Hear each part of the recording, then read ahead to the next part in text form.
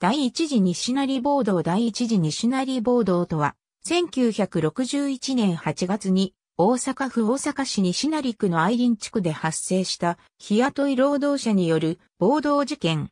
第一次釜ヶ崎暴動とも言う。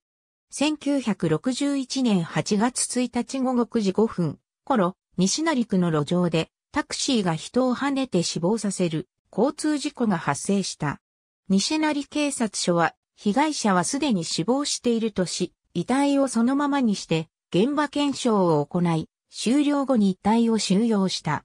これを見ていた日雇い労働者は、即座に遺体を収容しなかった警察に抗議し、暴動へと発展した。交通事故直後から日雇い労働者が集まり始め、翌日未明までに東田町派出所をぶち壊した。その後西成署に移動して、署の窓ガラスを割り、そして駐車していたパトカーを破壊炎上させた。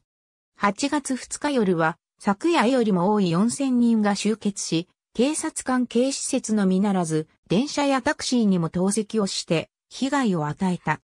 8月3日、大阪府警察は、近隣の京都府警察や兵庫県警察にも応援を依頼し、約6300人の警官隊を投入したことで、暴動はようやく鎮圧した。1954年の大阪府警察発足以来、最大の暴動事件であった。ありがとうございます。